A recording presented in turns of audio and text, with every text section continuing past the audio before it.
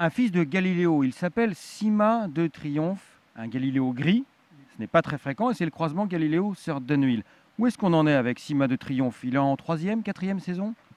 Non, les, les, Sima ils vont être deux ans cette année. Et il fait des très beaux produits. Même lui, il fait la saison en Argentine. Il a fait même lui autour de Saint-Benjamin en Argentine. Et ces poulains, ils sont euh, très beaux à voir en modèle. Ils sont tout baies, il n'y en a pas de gris. Mais son gris, ça vient euh, de sa deuxième mère, qui c'est Crystal Palace. Crystal Palace, elle était gris. Sinon, le croisement, c'est parfait parce que c'est Galiléo avec Danil, comme Frankel. Le cheval, il est très beau. Il, il, il saillit très bien, même si saillit Saint-Benjamin en Argentine, il est bien. Quand il arrive ici comme Orpen, il n'a pas de problème. J'espère qu'il va s'annoncer bien euh, avec les premiers produits qui vont courir. Oui, une année cruciale évidemment pour lui.